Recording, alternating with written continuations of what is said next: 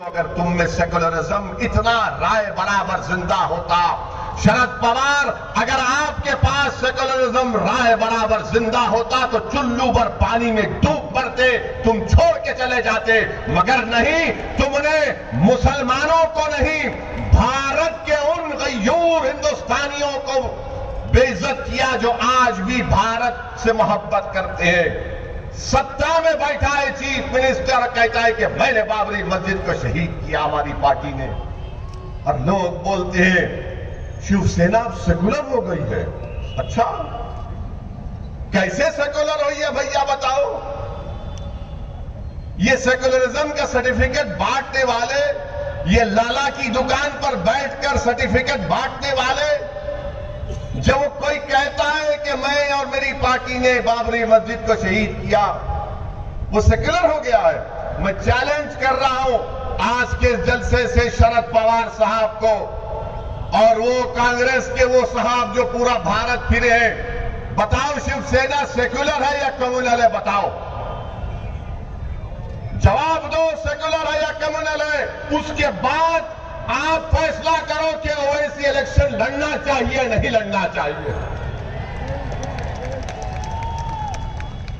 ये जाकर इख्तदार की हवस में पंद्रह साल कांग्रेस के पास इख्तदार था। मगर उद्धव ठाकरे मुख्यमंत्री बने तो बोले, हम भी पीछे आ जाते हैं, हम भी भूखे हैं, प्यासे हैं, गरीब हो चुके हैं, हमारे घर वीरान हो चुके हैं। हमको भी एक गाड़ी के ऊपर लाल लाइट चाहिए जो टाए टाए टाए करके रोड पर चल सके। कांग्रेस दौड़ते हुए गई, उद्धव ठाकरे के दामन को पकड़ लिया।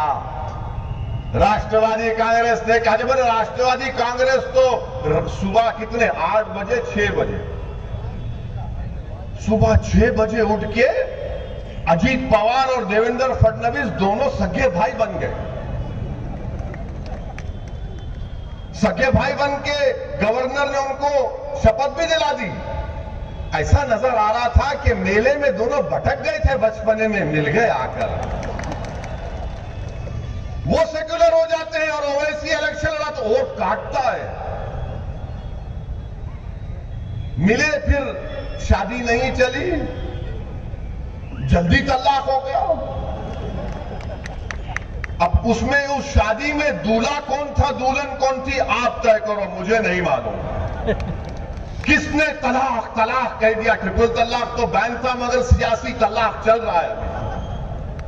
अब नहीं मालूम कौन खुला दिया। वो छोड़ दिए।